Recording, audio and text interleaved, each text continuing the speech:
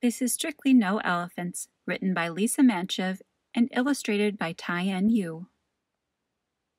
The trouble with having a tiny elephant for a pet is that you never quite fit in.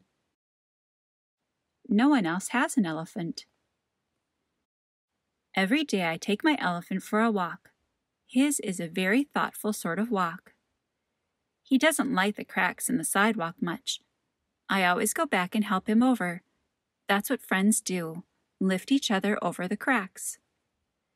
Today I'm walking my tiny elephant to number 17. It's Pet Club Day and everyone will be there. Come along, there's a good boy. I coax him the last few feet. It'll be fine.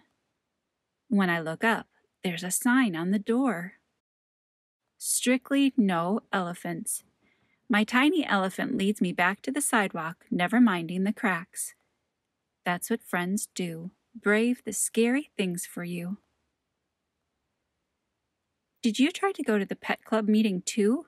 The girl asks. Yes, I say, but they don't allow elephants.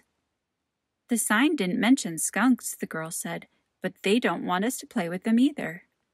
They don't know any better, I tell her. He doesn't stink, the girl adds. No, he doesn't, I agree. What if we start our own club?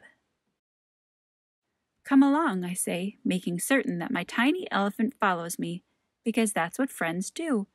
Never leave anyone behind.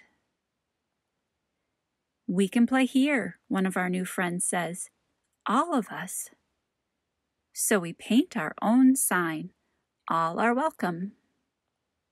My tiny elephant will give you directions if you need them. Because that's what friends do.